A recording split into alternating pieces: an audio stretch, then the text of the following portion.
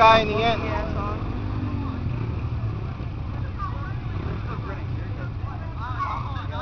Thanks, Chris. We're done after this.